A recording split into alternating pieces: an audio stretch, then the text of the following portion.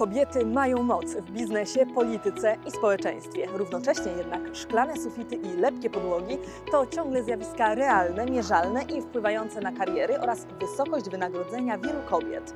7 listopada podczas kongresu ESG Polska Moc Biznesu porozmawiamy na Stadionie Narodowym z polskimi liderkami XXI wieku o tym, jak iść swoją drogą. Ale nie będzie to dyskusja oparta na narzekaniu i rozmowach o dyskryminacji. Zmieniamy ton i narrację mówienia w Polsce o pozytywnych efektach pracy kobiet, bo sukces tak naprawdę nie ma płci. Panelistki podzielą się doświadczeniami i wiedzą, jak pogodzić ambicje zawodowe, biznesowe i naukowe ze społecznymi rolami pełnionymi przez kobiety. A ja będę miała ogromną przyjemność moderować tę dyskusję. Do zobaczenia 7 listopada. Oglądajcie nas na stronie polskamocbiznesu.pl.